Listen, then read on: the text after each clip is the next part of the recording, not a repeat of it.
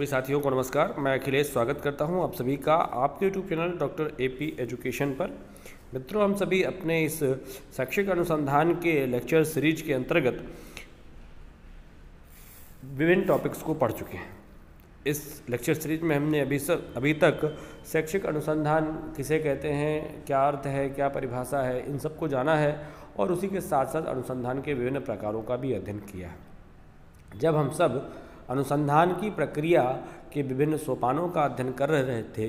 तो उसी समय हम सबने ये देखा था कि अनुसंधान की जो प्रक्रिया है या अनुसंधान की प्रक्रिया के जो विभिन्न सोपान हैं, उन सोपानों में से सबसे प्रमुख या सबसे प्रथम सोपान जो हमारा था, वह समस्या की पहचान या समस्या का चयन करना था, जिसे हम सरल शब्दों में कह सकते हैं कि हमारा रिसर्च टॉपिक क्या होगा उस रिसर्च टॉपिक का सिलेक्शन ही सबसे बड़े, सबसे पहला हमारा चरण होता है।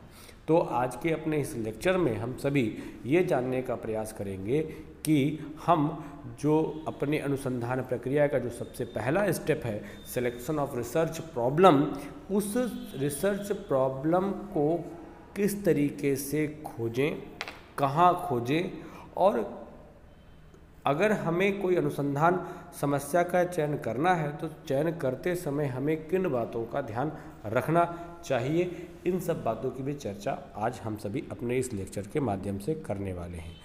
इस लेक्चर में अनुसंधान समस्या की चर्चा, सावधानियाँ और स्रोत के बारे में अध्ययन करते हुए हम सभी आपने इसी लेक्चर में ये देखेंगे कि किस प्रकार से हम अनुसंधान समस्या के चयन के आधार पर हम अपना शोध सारांश, यानी जिसे हम सिनॉप्सिस कहते हैं या एजेंडम कहते हैं, उसे किस प्रकार से लिखा जाता है और किस प्रकार से हमें सिनॉप्सिस तैयार करनी चाहिए, इन सब बातों पर भी हम आज अपने इस लेक्चर में पढ़ेंगे।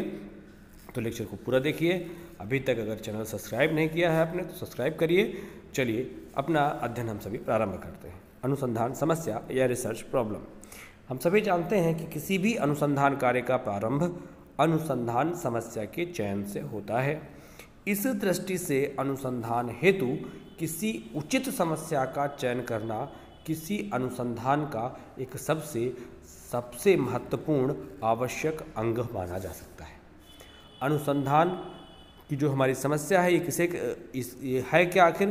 तो अनुसंधान समस्या से तात्पर्य, दो या दो से अधिक चरों के बीच संबंध बताने वाले किसी अनुत्तरित प्रश्न या जिज्ञासा से होता है, जिसे हम कथन रूप में भी लिख सकते हैं, या जिसे हम प्रश्न रूप में भी लिख सकते हैं। कहने का मतलब ये हुआ कि दो या दो से अधिक चरों की चर की बात मैंने आपको पूर्व में भी समझाई है कि जो भी हमारा रिसर्च टॉपिक है, उस रिसर्च टॉपिक में जो भी सम्मिलित विषय वस्तु है, वह सभी सम्मिलित विषय वस्तु हमारा चर होगा और अपनी इसी अनुसंधान समस्या को लिखते समय, यानी हम कथन को लिखते समय, हम स्पष्ट रूप से इन चरों के बीच संबंध क्या है ये खोजने की हम बात को स्पष्ट रूप से अपने शब्दों में, कथन रूप में लिखते हैं या प्रश्नवाचक रूप में लिखते हैं। किस प्रकार से ऐसे कह सकते हैं कि शहरी क्षेत्र के या ग्रामीण क्षेत्र के बालकों का अंग्रेज़ी विषय के प्रति रुझान तो हमारे शहरी बालक, ग्रामीण बालक और अंग्रेज़ी विषय, ये हमारे चर हैं। और हमारी विषय वस्तु हैं और इन्हीं के बीच के आपसी संबंध को हमें अपने, हमने क्या लिखा है? इन्हीं चरों के आपसी संबंध को हमने कथन रूप में लिख दिया है। इसी कथन रूप में लिखना समस्या को, लिखना या समस्या को कथन रूप देना कहलाता है। चलिए, आगे बात करते हैं। विद्वानों के द्वारा अनुसंधान समस्या की विभिन्न परिभाषाएँ भी दी गई हैं। कौन कौन सी परिभाषाएँ दी गई हैं? फ्रेड एन कर्लिंगर के अनुसार अगर हम देखें तो कहते हैं कि समस्या एक प्रश्नवाचक वाक्य या कथन होता है, जो पूछता है, दो या अधिक चरों के बीच क्या संबंध विद्यमान है? ठीक। दूसरा मैगविन की परिभाषा है। कहते हैं कि मैगविन के अनुसार समस्या से तात्पर्य हमारे ज्ञान में कमी से है। Problem refers to gap in our knowledge. तो कुल मिलाकर के हम समस्या को इस तरीके से कह सकते हैं कि हमने अभी तक क्या नहीं खोजा। हम अपनी जिस प्रक्रिया में सम्मिलित हैं, शैक्षिक प्रक्रिया में हम सभी लोग हैं, और इस शैक्षिक प्रक्रिया को अधिक सरल और सुचारू बनाने के लिए अभी तक वो कौन से क्षेत्र अछूते रह गए, जिन पर हमने अभी तक अध्ययन नहीं किया, अगर उस पर अध्ययन कर लें तो हम अपने इस शैक्षिक प्रक्रिया को और अधिक सरल कर सकते हैं। तो इसे हम गैप ऑफ़ नॉलेज कह सकते हैं। और इसे, इसी यही गैप ऑफ़ नॉलेज हमारे अनुसंधान का टॉपिक भी बन सकता है। चलिए ठीक, बात समझ में आ गई होगी। उपरोक्त परिभाषाओं के विश्लेषण से अनुसंधान योग्य समस्या में निम्नलिखित विशेषताएँ होनी चाहिए। कौन कौन सी होनी चाहिए? अनुसंधान समस्या स्वयं में स्पष्ट तथा मूर्त प्रकृति की होनी चाहिए। स्पष्ट होनी चाहिए और मूर्त प्रगति की होनी चाहिए। ऐसे नहीं होनी चाहिए कि आपने लिख दिया, अंग्रेज़ी विषय को लेकर रुझान। अंग्रेज़ी विषय को लेकर रुझान किसका रुझान भैया? स्पष्ट ही नहीं है आपकी परिभाषा। और अंग्रेज़ी विषय को लेकर रुझान किसका? इंसानों का कि जानवरों का, किसका? तो स्पष्ट और मूर्त होनी चाहिए। दूसरा, अनुसंधान समस्या का समाधान वैज्ञानिक विधि के प्रयोग द्वारा संभव होना चाहिए। आपके रिसर्च टॉपिक किसी भी ऐसे प्रकार के नहीं होने चाहिए, जिनका समाधान वैज्ञानिक विधि से संभव, जिनका समाधान करना वैज्ञानिक विधि से संभव ना हो, ऐसी समस्या का चुनाव हमें नहीं करना चाहिए।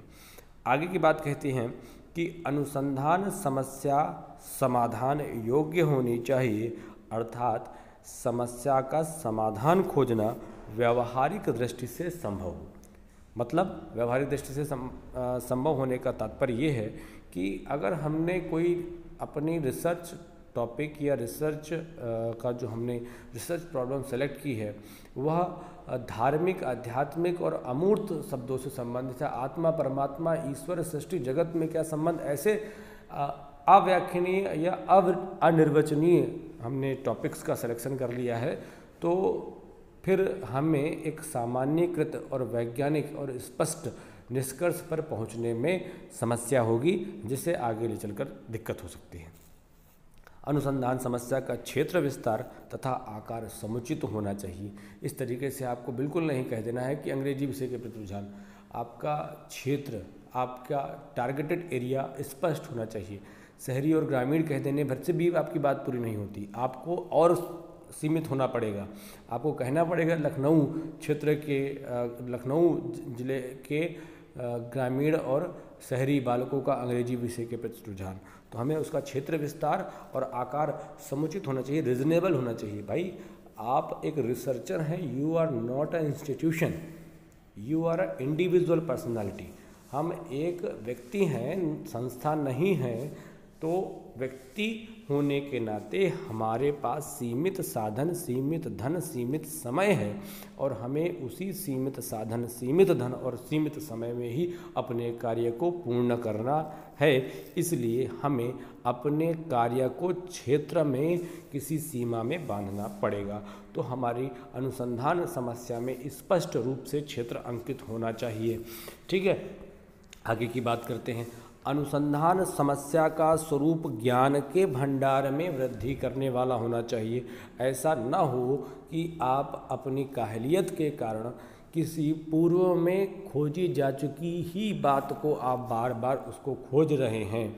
वैसे खोजना चाहिए, अच्छी बात है, लेकिन ऐसा आपका निष्कर्ष निकलना चाहिए, जिससे क्या हो कि अगले आने वाले आपका जो रिसर्च है, वो एक प्रूफ डॉक्यूमेंट के रूप में रखा जाता है और उस प्रूफ डॉक्यूमेंट का रेफरेंस कहीं पर हो, उस रेफरेंस से लोगों के ज्ञान में वृद्धि हो ऐसा भी आपका रिसर्च होना चाहिए।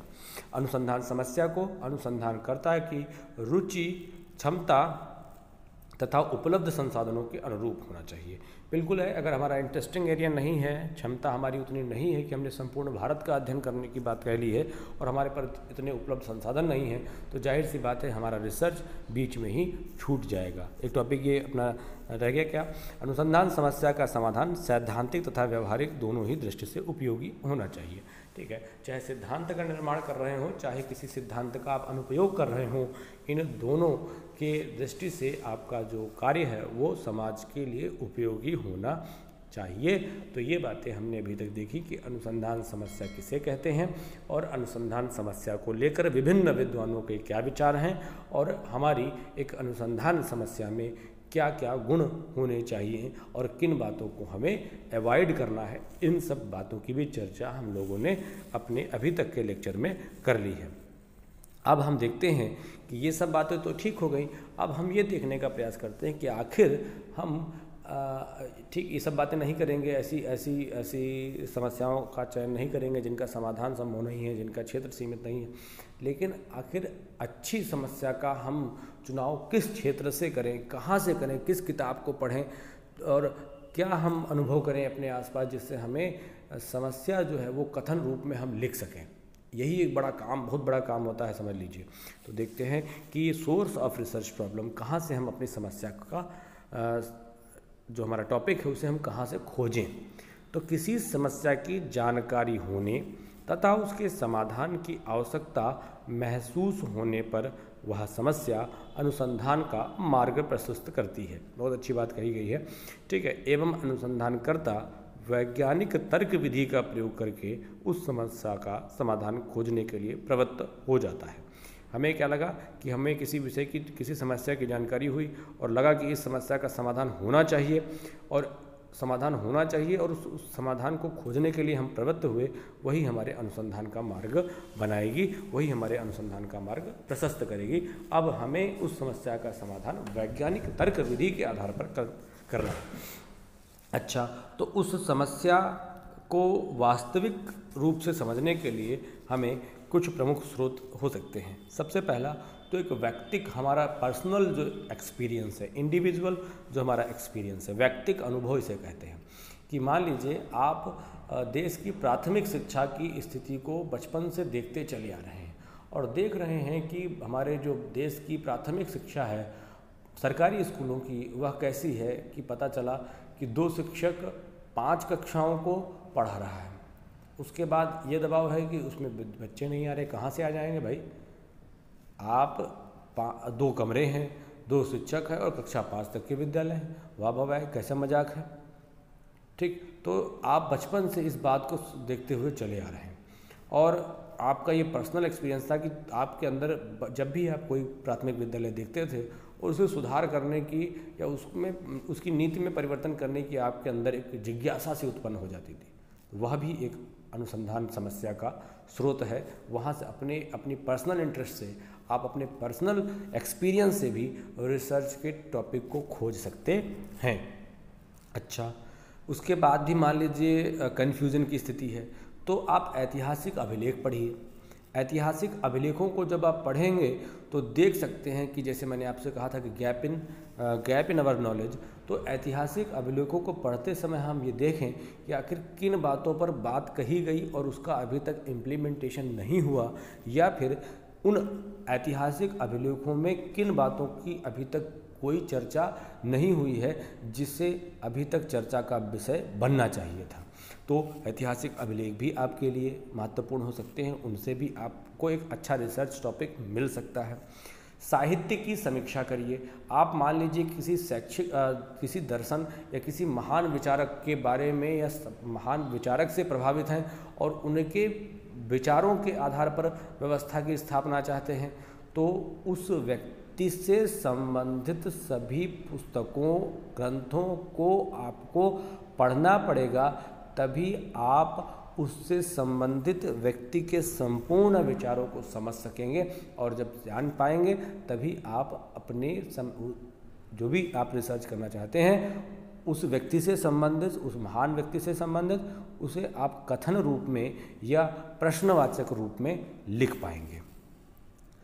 अगला है पारिस्थितिक आवश्यकताएँ। हमारा तत्कालिक जो समय है इस तत्कालिक समय में क्या ऐसी चीज़ नहीं है जिसकी या क्या ऐसी चीज़ हो जाए जिससे हम अपनी सब, अपनी प्रक्रिया को अधिक सुधार ले जाएँ तो वह भी, वह अनुभूति भी, वह आवश्यकता भी हमारा रिसर्च टॉपिक बन सकती है। आगे देखते हैं। सामाजिक एवं प्रौद्योगिकी परिवर्तन। हम देख, जानते हैं समाज में परिवर्तन एक उसका नियम है। समाज के परिवर्तन के साथ साथ उसकी टेक्नोलॉजीज़ में भी परिवर्तन हो रहा है। और हमको सदैव टेक्नोलॉजीज़ के परिवर्तन के साथ साथ दो दो हाथ करने चाहिए।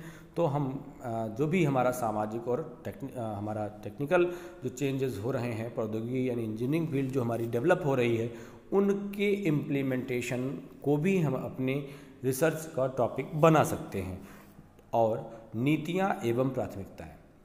हम देख रहे हैं कि जिस प्रकार से हम सभी सामाजिक रूप से परिवर्तित होते चले जा रहे हैं और सभी व्यक्ति शिक्षा को एक व्यापार के रूप में बना चुका है, उस दृष्टि से जो शिक्षा का मूल अर्थ, उसकी नीतियाँ और शिक्षा की जो प्राथमिकताएँ होती थी, आज वह सब बदल कर शिक्षा, नौकरी पाने का एक साधन रह गया है, जो उसका अर्थ ही नहीं है। शिक्षा का अर्थ ज्ञान को सीखना या सीखने सिखाने की प्रक्रिया है।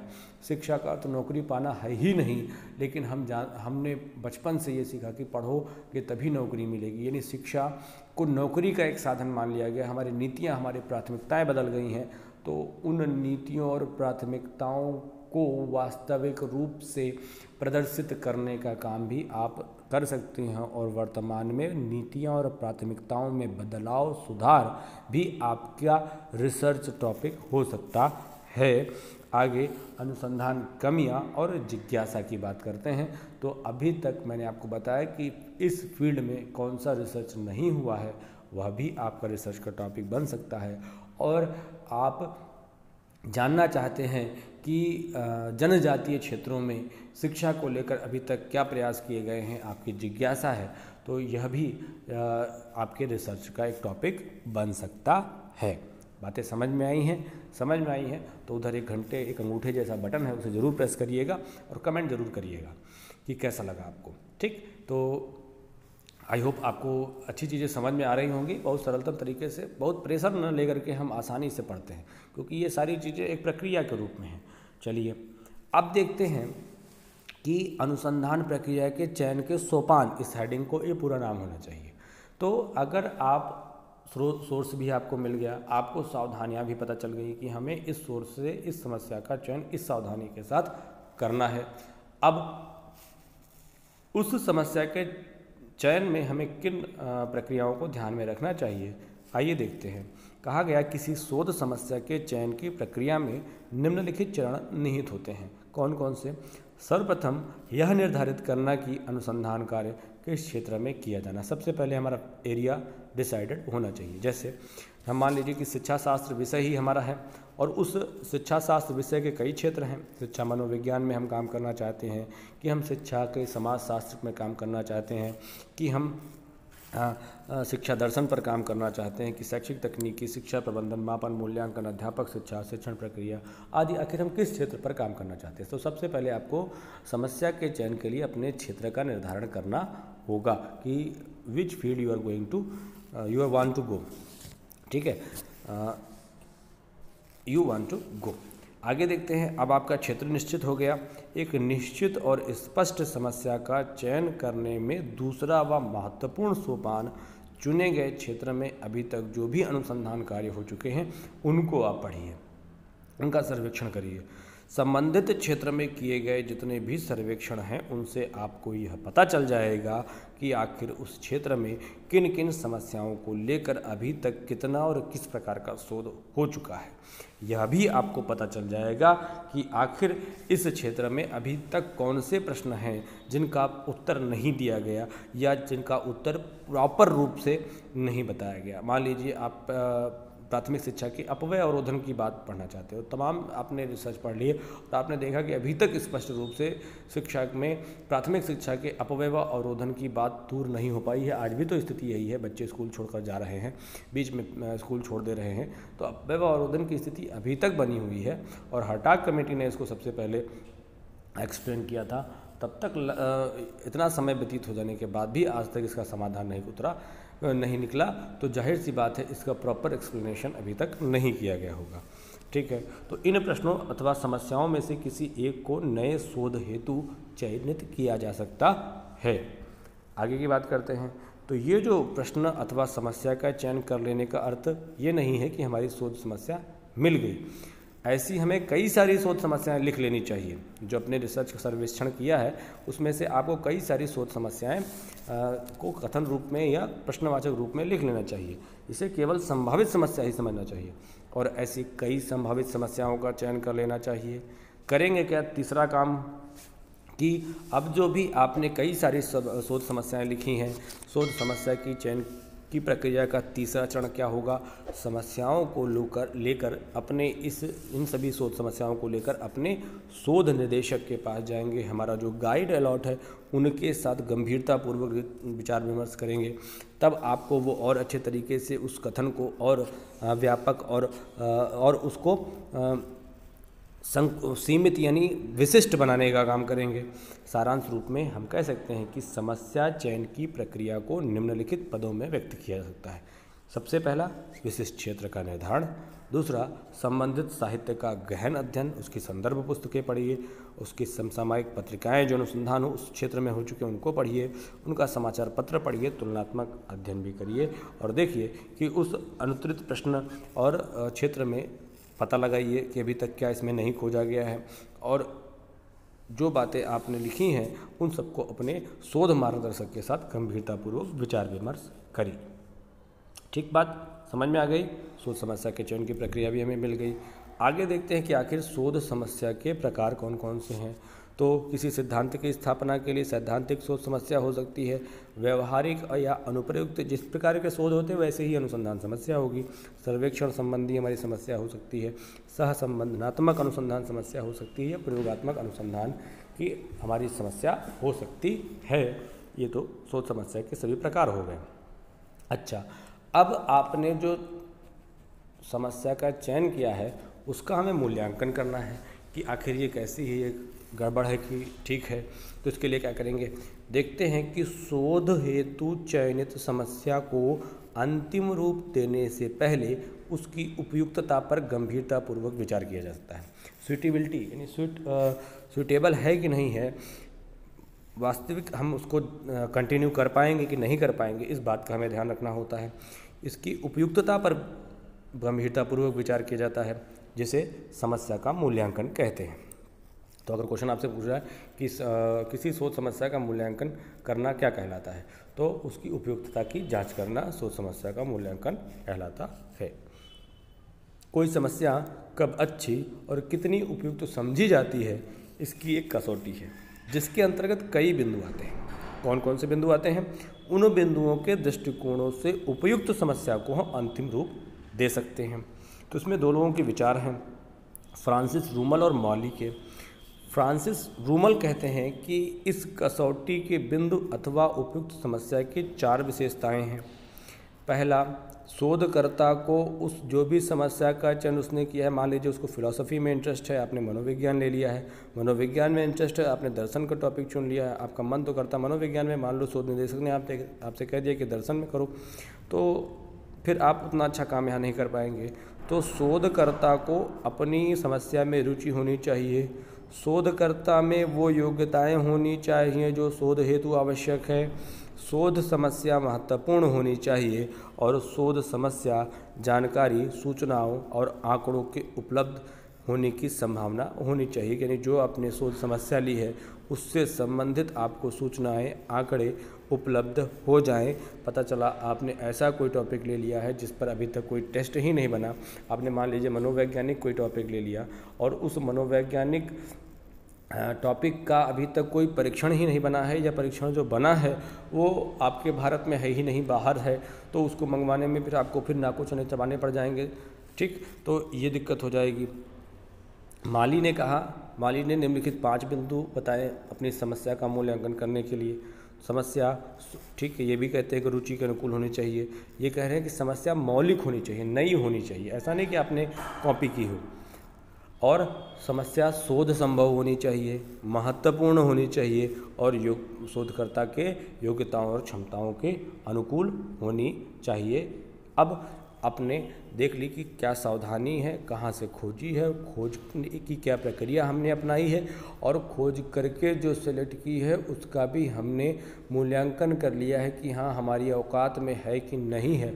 ठीक है ये सब बातें हमने जान ली कि हाँ हम कर ले जाएँगे, हमारे लिए उपयुक्त है, ये हम, हमारे क्षमता में है, हम इसको कर इस अनुसंधान समस्या को हम पूरा कर ले जाएँगे और हम अपना रिसर्च कंप्लीट कर लेंगे इस अनुसंधान समस्या के साथ में।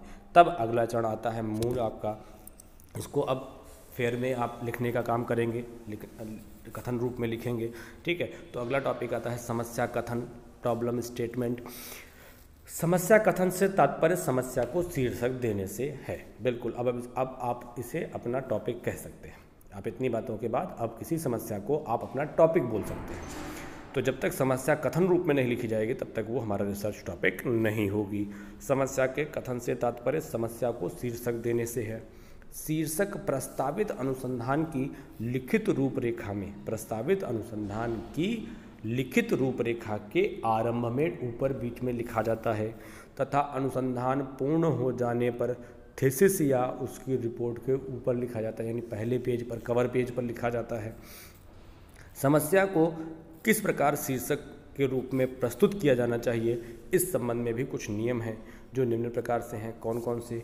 वॉन वॉन डॉलन के अनुसार कहते हैं, क्या कि समस्या की प्रस्तुति या तो प्रश्न के रूप में होनी चाहिए या तो सरल कथन के रूप में होनी चाहिए। कैसे? जैसे लिखा है कि क्या बुद्धि बालकों की शैक्षिक उपलब्धि को प्रभावित करती है? ये आपका रिसर्च टॉपिक हो सकता है जो प्रश्न रूप में है।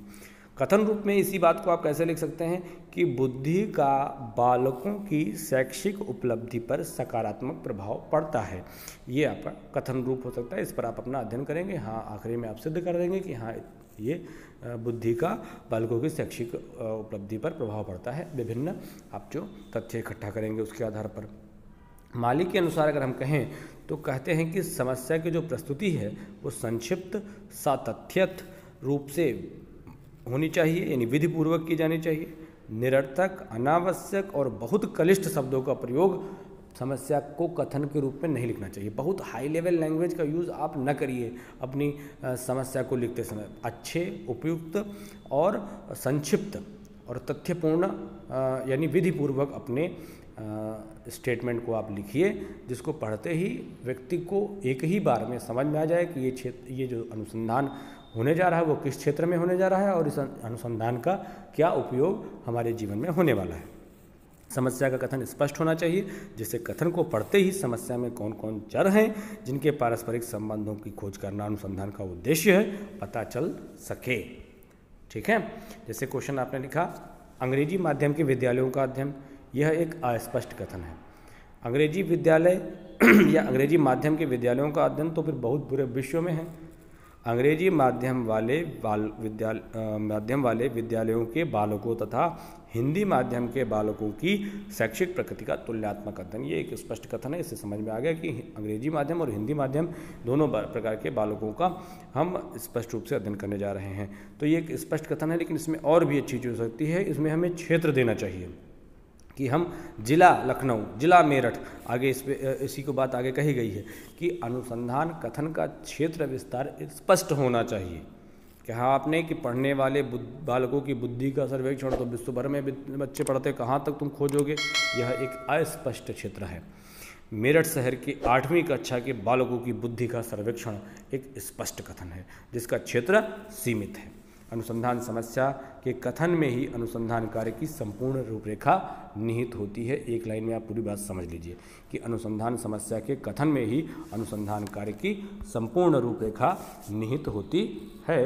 अब इसी प्रकार से अगर समस्या का परिभाषीकरण करना की बात आ जाती है, जो अपने प्रस्तावना जिसे आप कहते हैं कि समस्या के अंतिम रूप से चयनित हो जाने के पश्चात उसका कथन किया जाता है तथा कथन के पश्चात समस्या का गहराई से विश्लेषण अर्थात परिभाषीकरण एवं वर्णन किया जाता है। समस्या के परिभाषीकरण से तात्पर्य समस्या को एक परिधि में सीमित करना होता है, बिटनी साहब कह रहे हैं। उसे उन मिलते जुलते प्रश्नों से अलग करना होता है जो संबंधित परिस्थितियों में भी पाए जाते हैं। आरंभ में ही समस्या का इस प्रकार से विशिष्टीकरण, व्यवहारिक सीमांकन अत्यंत महत्वपूर्ण होता है और परिभाषीकरण सकते हैं, करते समय में तीन काम करने चाहिए। चरों को पहचान लेना चाहिए, चरों के बीच संबंध की प्रकृति को समझ लेना चाहिए और अध्ययन क्षेत्र का सीमांकन हमें कर लेना चाहिए। साधारणतः जो कथन के पश्चात उसकी विस्तार से व्याख्या की जाती है, जो हमने कथन लिखा है उसी की विस्तार से जो व्याख्या है, इसी को समस्या का परिभाषीकरण कहते हैं और इसी को प्रस्तावित अनुसंधान परियोजना, इसी को सारांश रूप जिसे हम सिनॉप्सिस कहते हैं या जिसे एजेंडम कहते हैं, इसी, यही हमारा मूल काम है, जिसे अनुसंधान कार्य आरंभ करने से पूर्व ही तैयार कर लिया जाता है। और अगर आप सिनॉप्सिस लिख रहे हैं या एजेंडम लिख रहे हैं तो आपको इन टॉपिक्स के अंदर ही लिखना चाहिए। कौन कौन से? सबसे पहले समस्या कथन लिखिए। समस्या का सैद्धांतिक आधार क्या है? यानी उसका प्रस्तावना, इसका इसका उपयोग क्या है? अगला, समस्या का महत्व और औचित्य क्या है? इसमें प्रयुक्त हुए तकनीकी शब्दों का अर्थ बताइए, उसकी परिभाषित करिए उसे। इसकी आधारभूत अवधारणा क्या है और यह क्षेत्र, यह अनुसंधान जो है, हम किस क्षेत्र में करने वाले हैं, इसका सीमांकन करिए। यह पूरा स्पष्ट करके आप सिनॉप्सिस के रूप में किसी भी अपने शोध निदेशक के पास आप जमा कर सकते हैं। तो ये पूरा हमने आज तक का अध्ययन किया। अनुसंधान समस्या का चयन कैसे करते हैं, कहाँ से करें, क्या सावधानी बरतें और क्या प्रक्रिया का पालन करें और समस्या को चयन करने के बाद हम किस प्रकार से उसे अपना टॉपिक बनाएँ और कथन रूप में लिखें, इन सब बातों की चर्चा आज हमने अपने लेक्चर में की है। अगर आपको समझ में आया हो तो कमेंट करिए लाइक करिए और अपने दोस्तों को शेयर करिए। मिलते हैं अगले लेक्चर में, जिसमें हम सभी परिकल्पनाओं का अध्ययन करेंगे। तब तक के लिए अध्ययन करिए, भारत माता की।